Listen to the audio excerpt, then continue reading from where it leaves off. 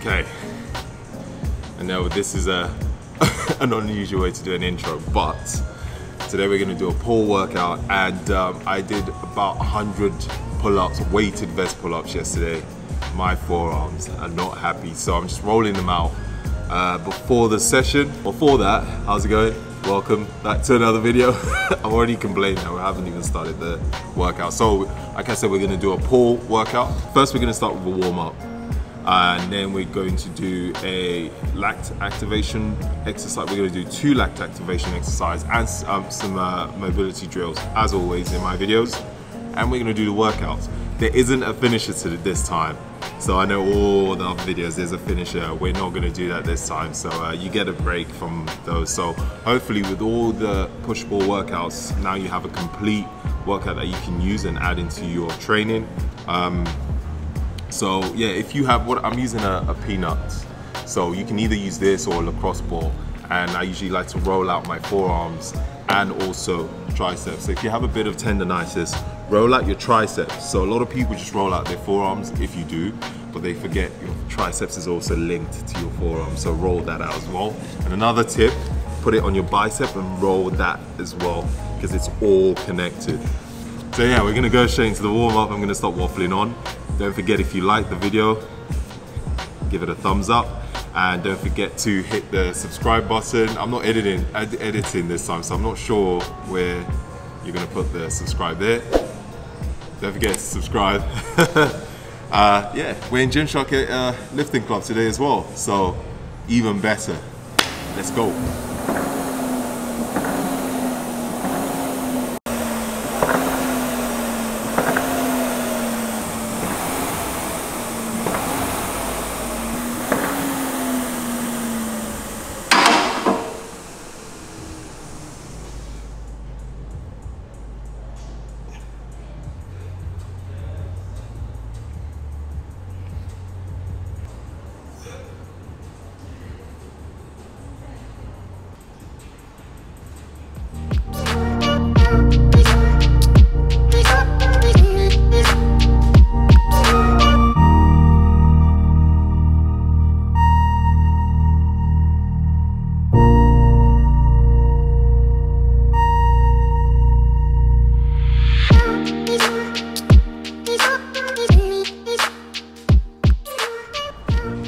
So uh, with the lat activation, I like to do these before I do I train back, just to activate the lats.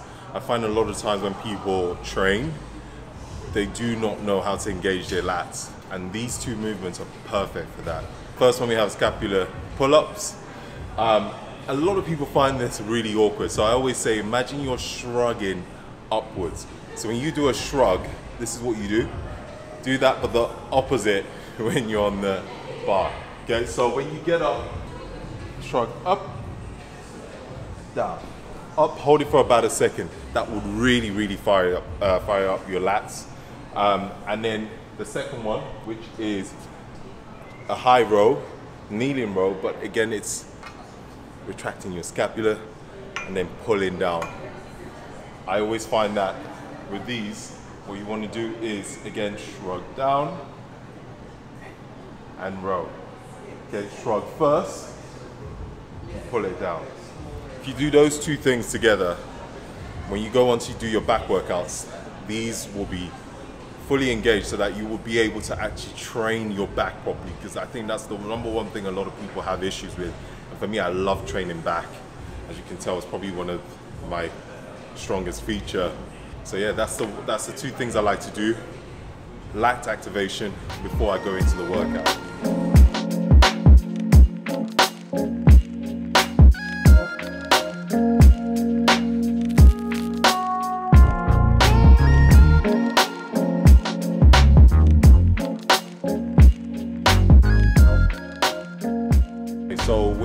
The face pulls, if you notice, I like to retract shoulder blades. Remember the scap pull-ups, same principle, retract. Make sure that my shoulder blade is activated, okay? Pull back, squeeze, and come back. Retract, pull, squeeze, come back. Another way to think of it is when you're pulling, think, imagine doing a double bicep now. I don't know how to do a double bicep, but just pretend you know how to do a double bicep. So we come in with the rope, come in, squeeze, slowly down. Again, nice and slow on the eccentric as well. With uh, the pullovers, I like to use two ropes. Again, purely because I'm quite tall and my legs are quite big. So when I row, when I pull, I like to make sure I come all, I fully extend. So, stand back, lean forward. Like to come in, squeeze hard as I can. Keep squeezing your lats, keep squeezing. Do not relax them. And pull and squeeze. Focus on your lats, not your hands on the rope. Keep squeezing, pull, squeeze, Okay, hold for a second, squeeze your lats, and then keep going, keep squeezing them all the way up there till you finish the last rep. Okay, you want to keep these under as much tension as possible throughout, and again, a nice and slow eccentric as well. Again, remember time on the tension, tempo is key.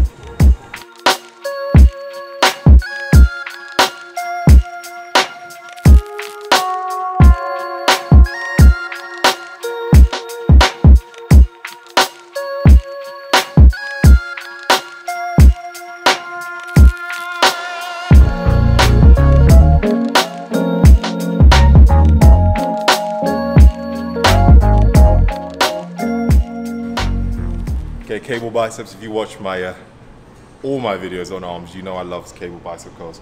This time we're using the bar. Again, we're doing drop sets because it's all about progressive overload. And you know I love drop sets. I like to lean back slightly so I don't stand upright. I lean back slightly.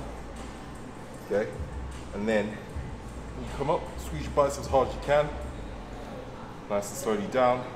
Stop about there because you're still keeping your biceps under tension. Once you come past here, they relax.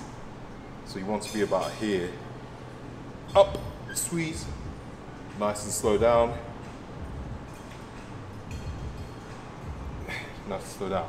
And then the drop set, once you drop the weight down, so the first one is about three to four seconds. The second one is about two seconds um, drop set.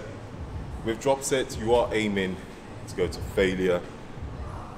If you're finding that you're not, so if you do, let's say 10 reps, the first um, set, um, and then the second drop, you're still doing 10 reps when you drop the weight, that means it's too easy. So you want to make it slightly heavier on the second uh, set. By the way, some of you are probably wondering, what is this? This is not a, a fashion statement. It's uh, this is a uh, called being silly, doing military presses. Uh, I was doing heavy military presses, and uh, yeah, that's what this is from. So it's not injured, it's just this slight twinge every time I press overhead. So no, it wasn't from CrossFit, because I know that's what a lot of you are thinking. It's, uh, it was actually from bodybuilding, ironically.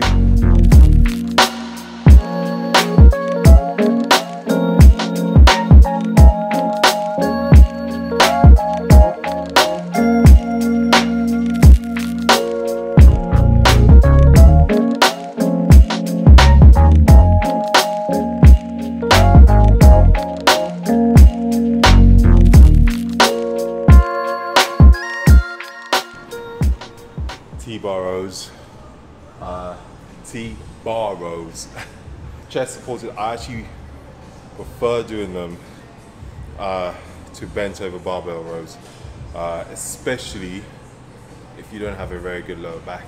Chest supported rows are so much better.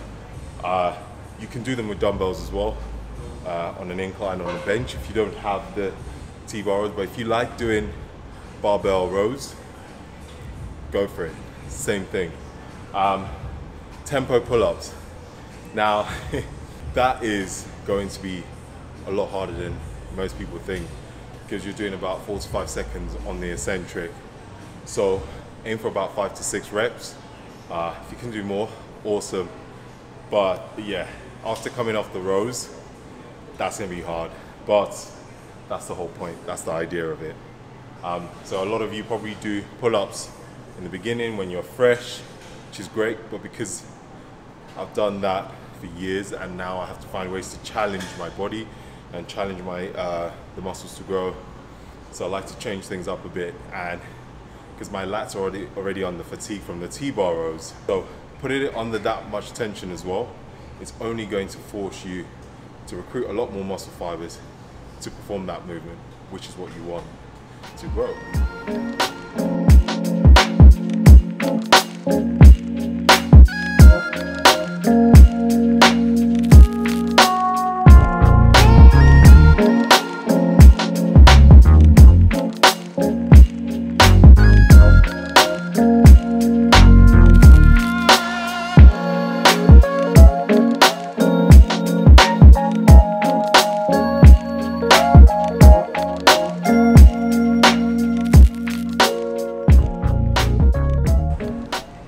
Okay, drop set, barbell bicep curls, pretty straightforward.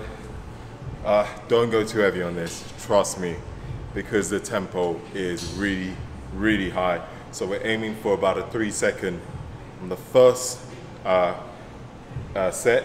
Then the second drop, you're gonna aim for about three to four seconds, five seconds even, with just the bar. Now I know you're thinking, yeah, just the bar, that's not gonna be too hard yeah, trust me, if you do this right, it will hurt. So hands in, okay, just about wider than your hips. Again, I don't fully extend when I come down. If you notice, I'm always about here to keep that tension. Up, squeeze your biceps hard as you can. You don't have to come all the way up here. That's not necessary. Remember to keep your elbows close to your body. Okay, up, stop about there, squeeze your bicep, squeezing squeeze it all the way down, stop about there, up, come down. Another trick to make sure you're squeezing your biceps, squeeze the bar as hard as you can, okay? When you're holding onto the bar, squeeze it. Okay? Squeeze as hard as you can, because that creates a lot of tension. So when you're coming up, your biceps and your forearms are under a lot of tension throughout. So that's a, that's a tip. I know it sounds weird, squeeze that bar as hard as you can because once you do that, that's already under tension because you're flexing that. Your biceps automatically comes under tension as well when you're here. But when you're here, that's relaxed. Remember that. Here, it's tense, relax, tense. Okay, you want to stop about there, come up here, stop about here. Relax.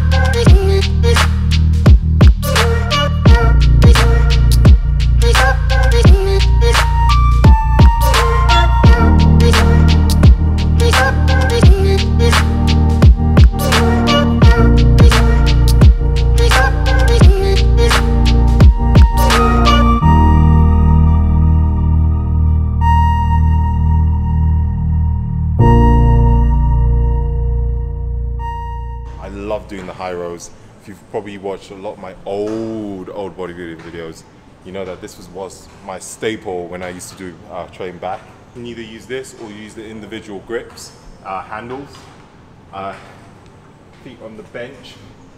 Because the reason why I lean forward is once you lean forward, this is engaged automatically. Okay, so feet on the bench, lean forward, and then you want to pull with your lats. Don't pull down. Okay, don't try and pull the handle. Try and pull first with your lats and let your hands come with you. Okay. Pull, squeeze, keep squeezing, keep squeezing, remember that, keep squeezing your lats. Pull, squeeze, squeeze it like it owes you money. Remember that. Pull down, squeeze as hard as you can, and come back up. Trust me, if you do that properly, you will really feel your lats on that. Lat pull down. Again, if you saw, I like to do shrugs. So, shrug down, and pull down. Engage my lats, shrug. You don't have to do that. If you tuck your shoulder blades back, come down, okay? You don't have to fully extend all the way up. You want to keep that tension on your lats. But the way I like to do it is by shrugging down first, come down before I go back up. Again, if you've never done those before, try and do it. Uh, you might, or not you might, you will be a lot weaker because it's harder to do, but you will absolutely feel your lats after these two exercises together. So if you're having issues uh, training your back and feeling uh, the muscle working, but if you did the activation, you should, you should feel it throughout the whole session. But if you do a lot of these movements uh, similar to how I'm showing you, it will feel completely different to what you're used to. And again, which is what you want. Because we all get so used to training a certain way. Sometimes it's good to mix it up and change things and try something new and something different. So some of you might try it, you might not like it. Go back to the way you normally used to do lat pull down, that's absolutely fine. But remember, this is something I like to do. This is how I like to train. It's not, it's not a one size fits all. So you might not, you might find that you don't like this type of training. You don't like a certain way I do certain things. That's absolutely fine. It doesn't mean that, you know, I'm wrong or you're wrong. It just means that we like to train differently.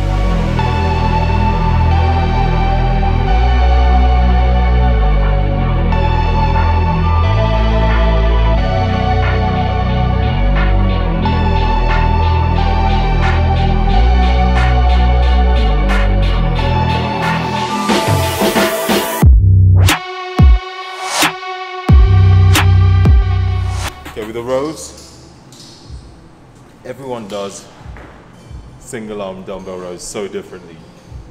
But I personally, I like to bring my arm slightly in front of me and then row it back. Squeeze my lats as hard as I can. Remember when I said keep squeezing your lats? Remember that? Up, squeeze, don't relax it.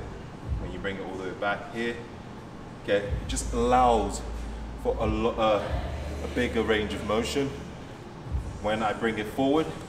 Now some people like to have it to the side. I just don't like it that way. So I like to bring it slightly in front, just there. Okay. From here, and then up, squeeze.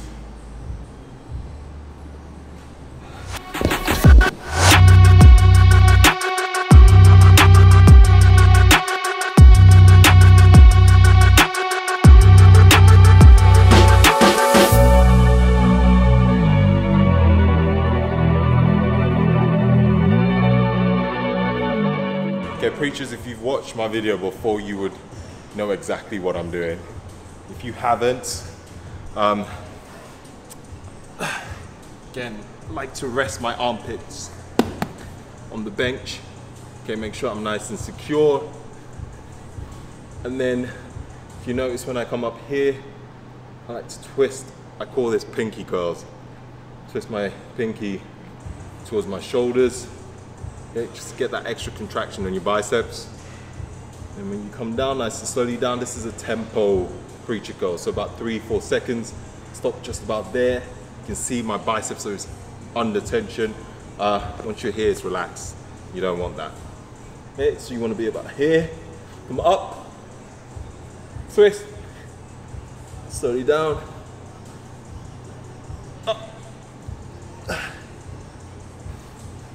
Try and keep your elbows fixed on that bench. So the only thing that should be moving is your forearms. Okay. Once you know you've gone too far, once you start doing this. Okay. So keep it here. I mean, it's fine if it comes up a little bit, that's fine. But once you start doing this, then that's not what you want. Okay. Imagine your tricep is glued to the bench. Okay. Up. Squeeze.